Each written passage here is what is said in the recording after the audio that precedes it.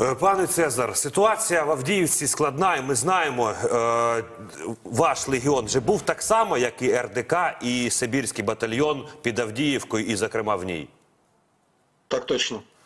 Дякуємо вам за цю роботу, оборону, ну і звичайно, подвиги, які робили бійці. Бо ми знаємо, що жертви були і серед ваших е, військових формувань.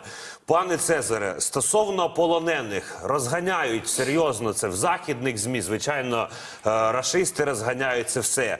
Як очевидець тих подій, що ви можете сказати про кількість е, українських полонених і як була проведена ця операція з виходом з міста?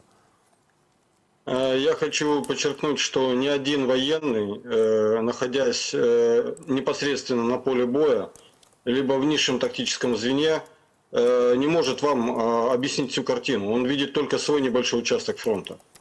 Э, Отход был достаточно организован, и понятно, что под тяжелыми ударами авиации, которых мы не видели за всю войну, такой концентрации, это было сделать сложнее, чем обычно. Частично нам иногда помогала погода, это облегчало ситуацию. Но я думаю, что говорить о тех цифрах, которые называют иностранные источники, нельзя. Э, Тем более, что, к сожалению, очень многие СМИ мировые, вы видели недавно на примере, э, скажем так, преснопамятного Такера Карлсона, э, используют кремлевские нарративы в своих публикациях. Пане Цезарі, стосовно вашого бойового досвіду, от порівняння Авдіївки з іншими місцями, де ви були на українському фронті, ви кажете про велику кількість кабів. Що б ви ще відзначили? Скажем так, я достаточно долго воевал в Бахмуте и могу вам сказать, что в Авдеевке гораздо потяжелее. Э, В Бахмуте, когда бои уже шли в самом городе, э, российская авиация не имела такого превосходства в воздухе, у нас было достаточно средств ПВО, наша авиация работала. И из-за плотной застройки э, противник не мог работать прямо непосредственно по нашим позициям. В Авдеевке в плане авиации самый настоящий ад. Они десятками сбрасывают тяжелые авиабомбы, начиная от калибров 500 килограмм и заканчивая полуторками. Полуторка, когда взрывается, это маленькая Хиросима. На расстоянии 10 километров вы чувствуете эту ударную волну. А уж когда человек находится в нескольких сотнях метрах, он получает тяжелые контузии или погибает. Им удалось, к сожалению, из-за недостатка средств ПВО у нас, которые я наблюдал на фронте уже с осени, я видел, насколько безнаказанно там под Горловкой, на Торецком направлении действует авиация противника. И нам нечем, к сожалению, ответить, потому что наши западные союзники нас подводят то в Авдеевке они, несмотря на большие потери для своей авиации, они фактически потеряли 6-7 самолетов за несколько дней. Они бросили все в бой, потому что им важно показать к выборам 17 марта в России хоть какой-то успех любой ценой. И поэтому они бросили в пекло авиацию, наносили массированные удары артиллерии, очень плотный был огонь артиллерийский, и, естественно, бросали мясные штурмы свою пехоту. Пане Цезаре, які зараз дії рашистів е, е, навколо Авдіївки, в самій Авдіївці? Ну і чи оці падіння літаків, збиття е, оборонцями України е, і неба е, оцих літаків сушок, як це вплинуло зараз от на ситуацію? Що можете з цього приводу сказати? Э, К сожалению, это нам помогает, но незначительно, потому что противник совершает э, до сотни самолетов вылетов на этом участке. Понимаете, до сотни самолетов вылетов.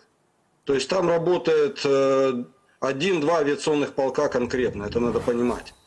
И надо понимать еще один момент, который э, не все учитывают. Метод Путина всегда, у него два любимых метода. Это провокация и террор. Причем террор это главный излюбленный метод. Мы видели недавно э, целый ряд событий, да, политические убийства, которые он осуществил. Вот. В данном случае он преднамеренно, показательно закидывает мясом украинские позиции. Он хочет сломать нашу волю к сопротивлению. Он хочет показать нам, что для него нет цены, которую он не готов заплатить. И он как бы спрашивает нас, а вы готовы заплатить такую же цену, как и я?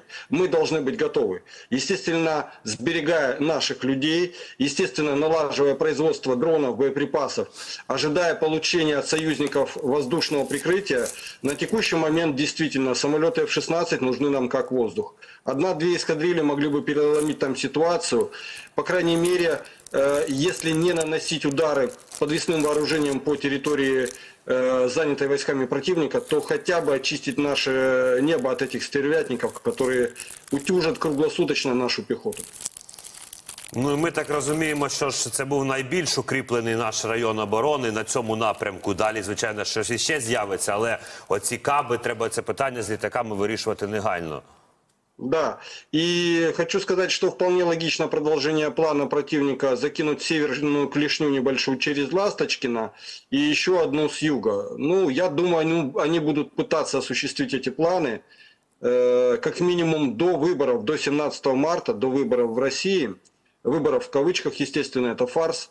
Э, они будут любой ценой, любыми жертвами, любыми потерями в технике, людях, авиации э, стремиться продемонстрировать успех на поле боя.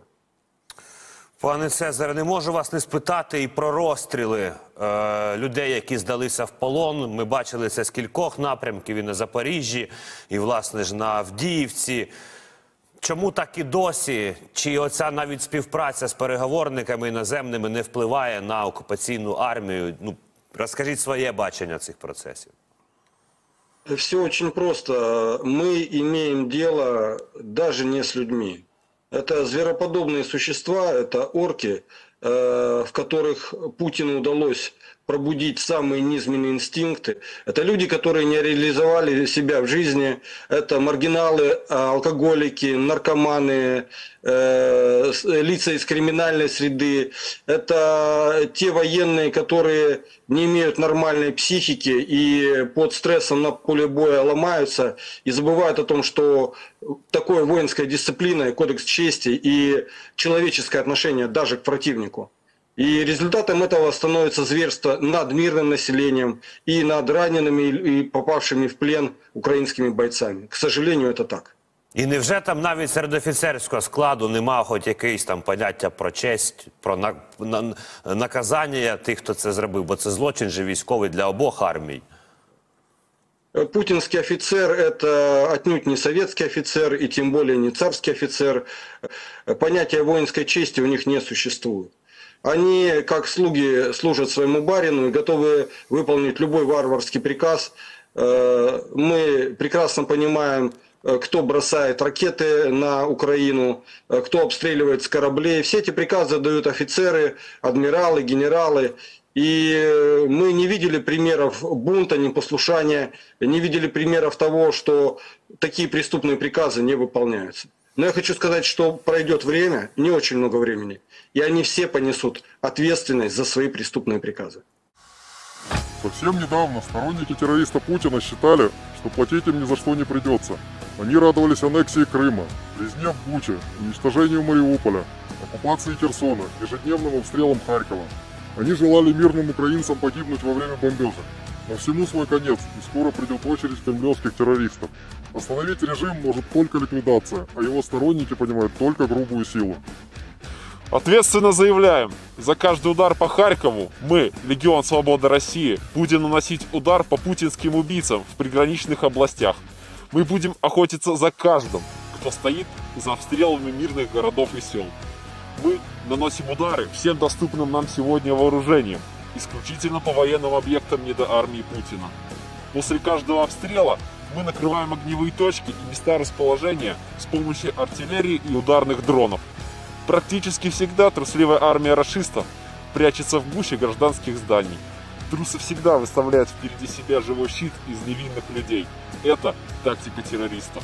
Мы призываем всех российских граждан выгонять путинских военных из своих городов и сел и не позволять прикрываться простыми людьми. Путинская армия – это смерть для всех, кто рядом. Всем, кто хочет вернуть мир в Россию и верит в свержение путинского режима, наша задача не допустить гибели и ранения мирных жителей. Поэтому нам необходима точная информация о местах проживания путинских военных и передвижениях военной техники, об ангарах, в которых прячут свою технику, складах, в которых лежат снаряды и ракеты. Мы призываем присылать информацию, которая поможет жить мирно и счастливо простым людям как в России, так и в Украине. Пишите на наш официальный бот по ссылке на вашем экране. А те, кто начал войну, и те, кто молчал, ждите. Вы запустили маховик войны. Время пожинать плоды. Каждая отнятая нами в недоармии Путина ракета полетит в его же псов режима. Каждая трофейная установка РСЗО разрядит свой боекомплект туда же. За каждый удар по Харькову будет ответ. Ждите и бойтесь.